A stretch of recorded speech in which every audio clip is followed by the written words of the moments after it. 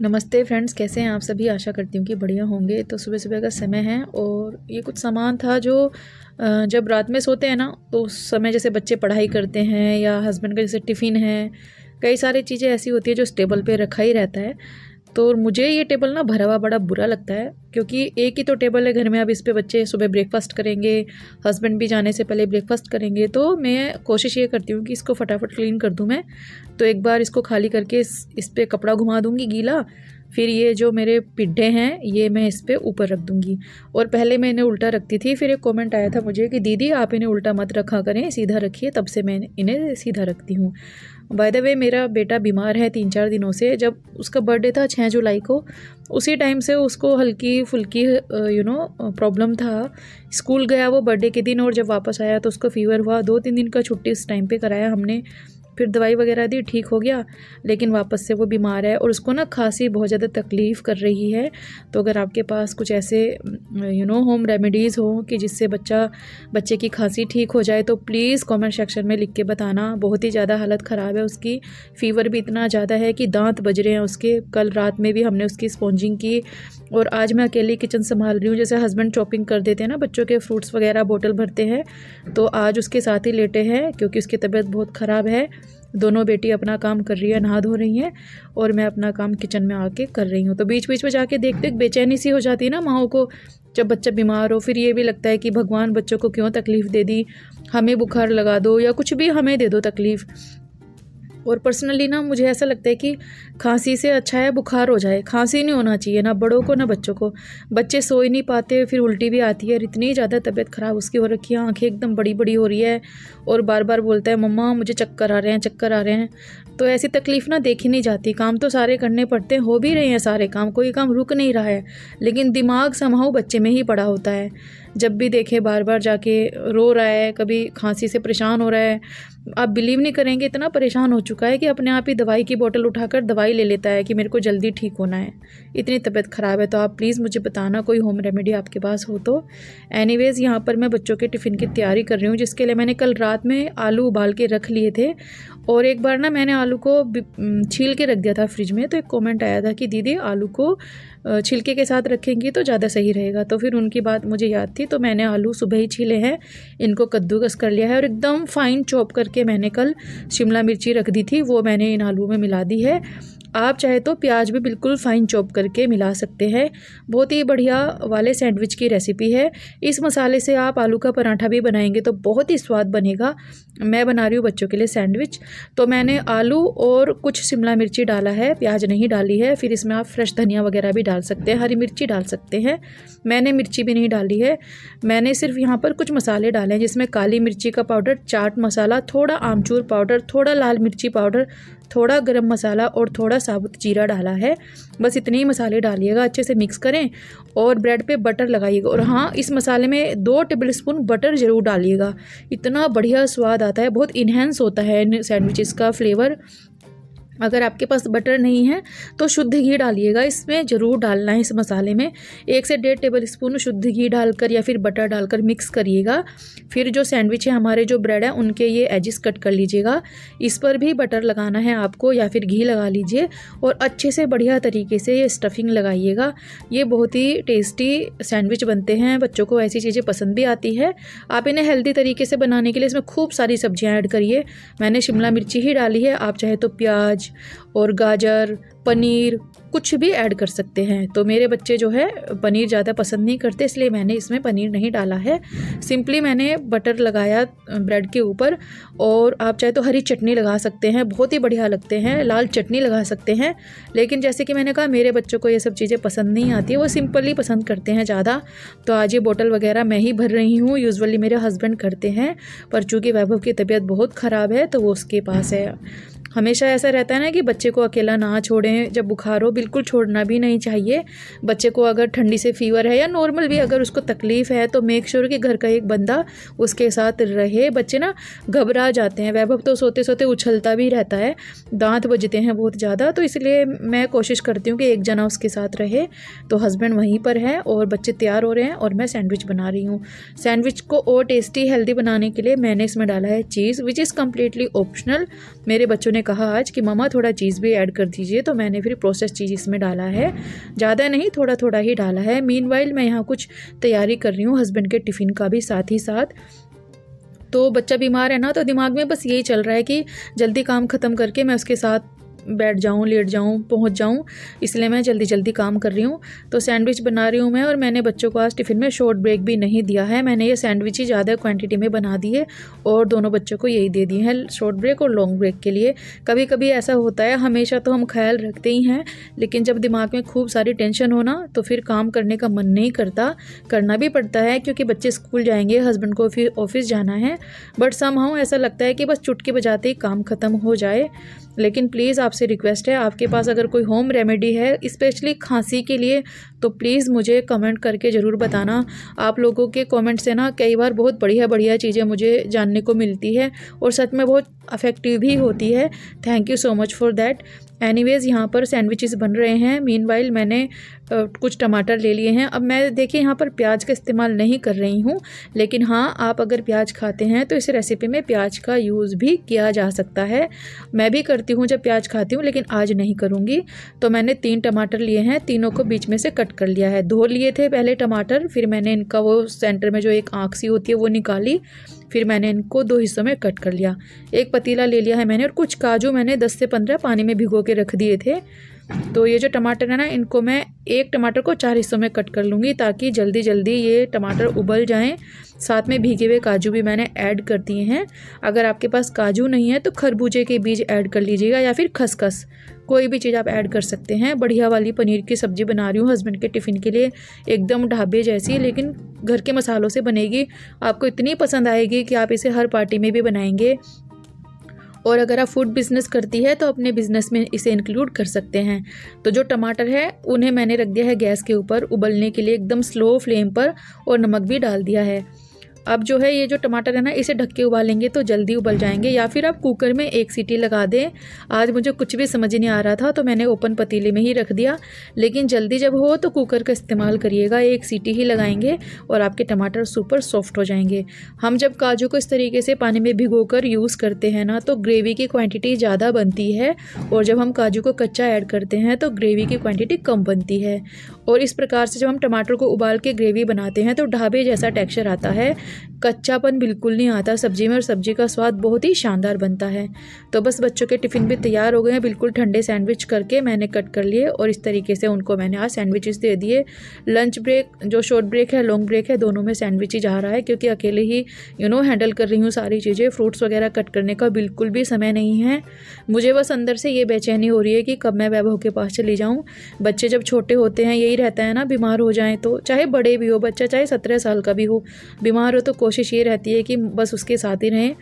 तो टिफ़िन वगैरह दे दिए हैं मैंने और ये कुछ मसाले हैं जिन्हें मैं भून लूँगी। दो टेबल स्पून है इसमें साबुत धनिया, एक टेबल स्पून जीरा, एक टेबल स्पून तिल है इसमें। और दो दो से तीन सूखी लाल मिर्ची है, आधा चम्मच काली मिर्ची के दाने हैं। इन सारी चीज़ों को स्लो फ्लेम पे भून लेंगे। तो ये काम भी मैं साथ साथ करते जा रही हूँ। तो मेरी कोशिश ये रहती है कि एक भी सेकंड व्यर्थ ना हो, सारे काम मैं फटाफट कर लूँ। ये जो मसाला है, आप इसे एक दिन पहले भून के रख लीजिएगा। ये मैंने एक दिन पहले ही भून के रखा था। ये अभी सुबह का क्लिप नहीं है, एक दिन पहले का है। जब मैं रात में खाना बना रही थी, तब मैंने ये काम कर लिया था। तो बच्चों के टिफ़िन मैंने कर दिए हैं, पैक। बच्चों के बैग में भी डाल दिए हैं। और अब मैं बनाऊँगी गोलू की चोटी। तो देखिए, इस प्रकार से ही मैं मैनेज करती हूँ सारे काम और हम सभी मम्मियाँ ऐसे ही करती हैं। मैं कोई स्पेशल काम नहीं कर रही हूँ। सुबह में एक यू नो हर किसी की स्पीड इतनी ही ज़्यादा हो जाती है। क्या करें, दिमाग में सब लगा रहता है ना कि बच्चे स्कूल के लिए लेट ना हो जाए। मेरे यहाँ तो बड़ा ही पंगा है। अगर सिक्स फिफ्टी फाइव पर बच्चे नहीं गए तो बस छोड़ के चली जाती है। सिक्स फिफ्टी सिक्स का भी वो वेट नहीं करती, एक मिनट का भी फिर हस्बैंड को छोड़ने जाना होता है।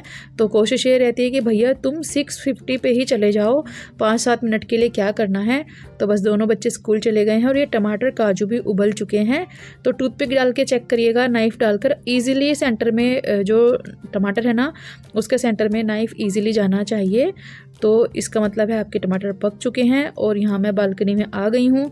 बीच बीच में ये पौधे देखती रहती हूँ मैं। जामुन वगैरह बड़े अच्छे निकल गए हैं, टमाटर के प्लांट्स निकल गए हैं। आवा कार्डो भी निकल गया। कैन यू इमेजिन गाइस ये देखिए आवा कार्डो का सीड डाला था ऐसे, वो भी निकल गया। और जो मसाला हमने भुना था ना रात में, उसको मैंने फ़ाइन पीस लिया है अभी। और ये टमाटर का छिलका हम निकाल देंगे। देखिए, जब भी कोई पनीर की सब्ज़ी बनाए ना आप, ढाबे जैसी रेस्टोरेंट जैसी, या थोड़ी अलग खाने में आपको चाहिए तो हमेशा टमाटर का छिलका निकाल कर इस्तेमाल करिएगा। ग्रेवी एकदम सिल्की स्मूथ बनती है। और हमेशा काजू को पानी में भिगो कर रखना एक से दो घंटा, फिर आप फ़र्क महसूस करेंगे कि आपकी ग्रेवी कितनी शानदार बनेगी। तो बस यहाँ पर मैं मसाले पीस लूँगी। और चूँकि हम प्याज नहीं खा रहे हैं तो इन टमाटर में तकरीबन 50 ग्राम के करीब पनीर काट कर डालेंगे तो ग्रेवी का वॉल्यूम बढ़ेगा, ग्रेवी का टेक्सचर बहुत स्मूथ आएगा, प्याज की बिल्कुल भी आवश्यकता नहीं है। तो हमेशा जब भी आप बिना प्याज के खाना बनाए पनीर की कोई सब्ज़ी बना रहे हैं तो टमाटर के साथ ना थोड़ा पनीर ज़रूर पीस कर तैयार करिएगा। ग्रेवी बहुत शानदार बनती है। तो मसाला पीस चुका है। जो भुना मसाला था वो भी पीस लिया है और कढ़ाई में सरसों का तेल डाला है। कढ़ाई साफ़ करके कुछ शिमला मिर्ची के टुकड़े मैं कट कर रही हूँ। तो हरी लाल दोनों प्रकार के शिमला मिर्ची मेरे पास है, लेकिन शिमला मिर्ची के रंग से कुछ नहीं होता। हरी लाल जो भी आपके पास है, आप वो कट कर लीजिए। अगर आप यहाँ पर प्याज खाते हैं तो प्याज को बिल्कुल इसी प्रकार से टुकड़ों में कट कर लीजिए। जितनी भी सब्ज़ी है, बराबर साइज़ में कट करना है, तभी सब्ज़ी बढ़िया दिखने में भी लगती है और बराबर पकती भी है। ऐसा नहीं होता कि शिमला मिर्ची पक गई, प्याज कच्चे रह गए तो मेक श्योर जो भी सब्ज़ी आप बनाएँ, हमेशा सेम साइज़ की कट करें। तो यहीं पर प्याज भी डाल लीजिएगा, बिल्कुल इसी प्रकार से काट कर और जब तेल अच्छे से गर्म हो जाए तो तकरीबन एक मिनट के लिए हाई फ्लेम पर प्याज को, शिमला मिर्ची को भून लीजिएगा। मैंने सिर्फ़ यहाँ पर शिमला मिर्ची भुना है। फिर एकदम स्लो फ्लेम करके एक टीस्पून डालेंगे कश्मीरी लाल मिर्ची पाउडर और तकरीबन आधा कप मैंने एकदम बारीक कटी हुई शिमला मिर्ची डाली है। जो शिमला मिर्ची मैंने बच्चों के सैंडविच में डाली है ना, वही शिमला मिर्ची मैंने ज़्यादा मात्रा में कल रात में कट कर लिया था। सुबह की प्लानिंग मैंने कल कर ली थी। तो वो शिमला मिर्ची डालकर एक मिनट भूना मैंने मध्यम आँच पर। फिर उसमें मैंने डाला है कसूरी मेथी शिमला मिर्ची के साथ ही और फिर ये मैंने पेस्ट डाल दिया टमाटर और पनीर काजू वाला। थोड़ा पानी डाला है, अच्छे से पकाया दो मिनट।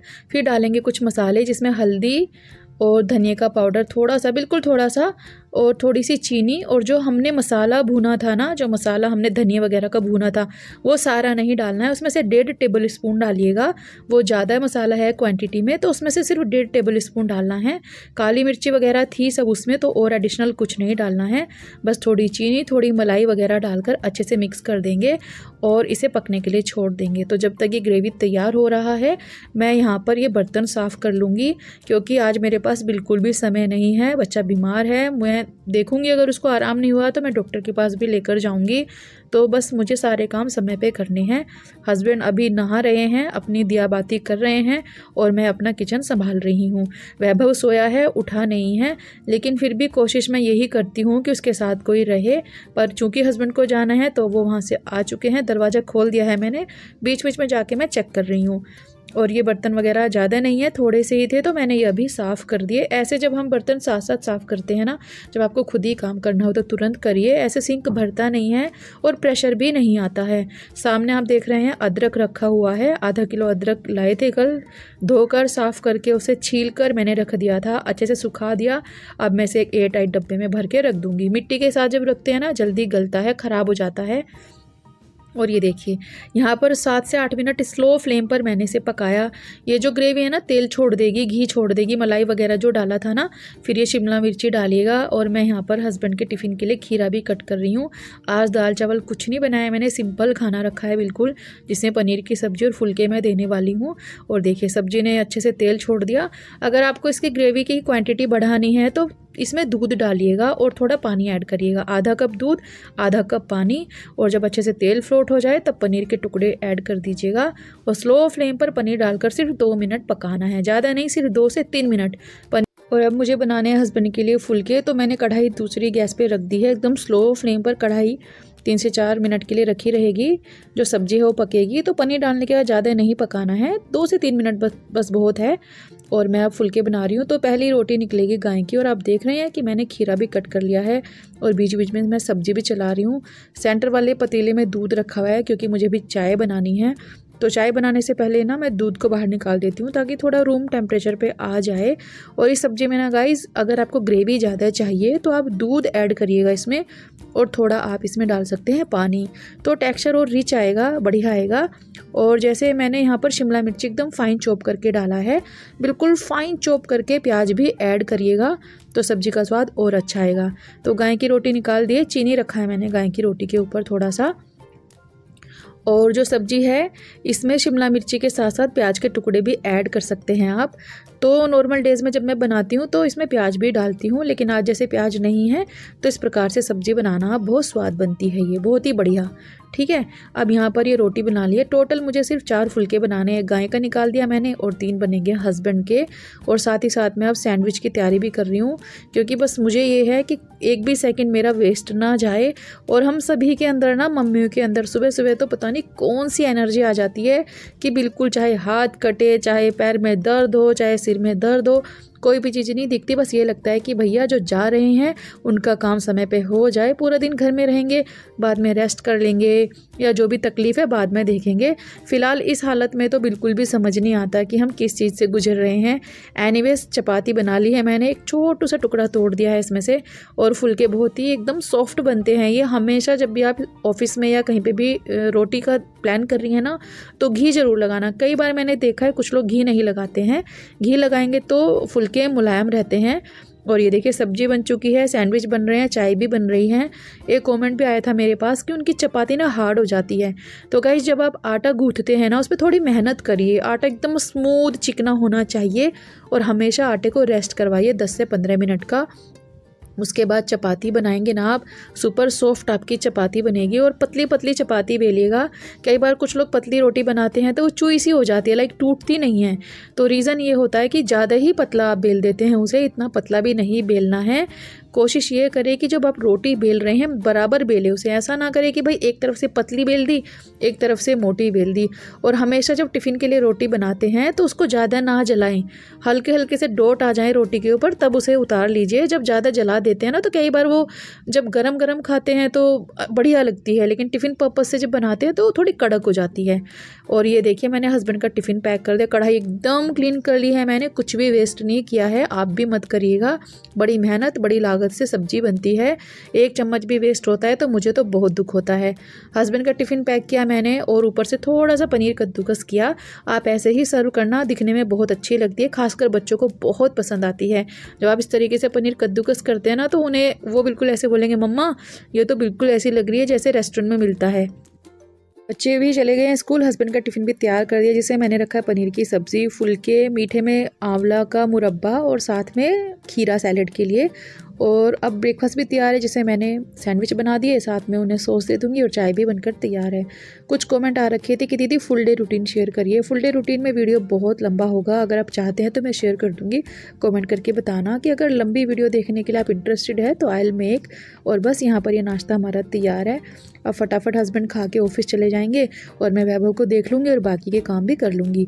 तो बस इसी प्रकार से होता है मेरा सुबह का काम। फुल डे रूटीन ऐसा ही होता है ऑलमोस्ट वीडियो अगर आपको थोड़ा सा भी अच्छा लगे तो कमेंट करके ज़रूर बताना।